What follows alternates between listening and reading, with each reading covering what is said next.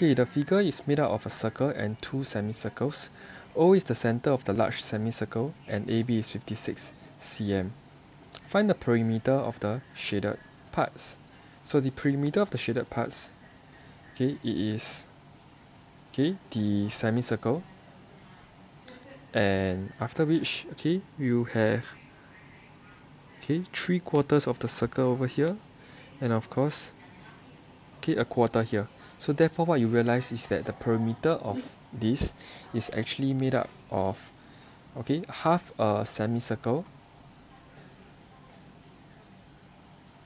okay and after which a full small sorry full small circle.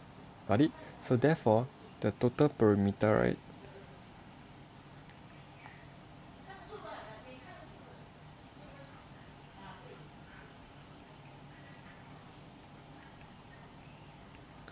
total perimeter of the large semicircle.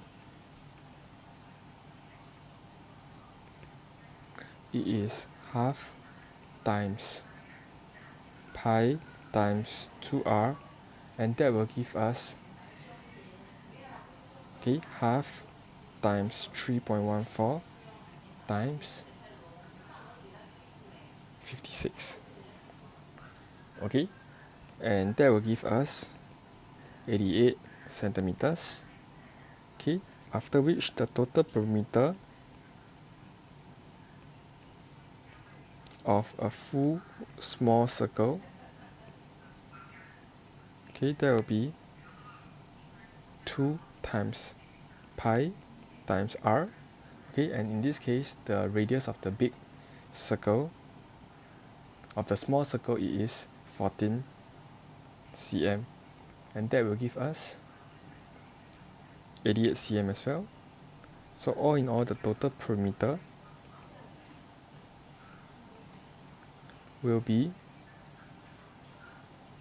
88 plus 88 plus 28 okay why 28 because you have to remember there's also a radius over here.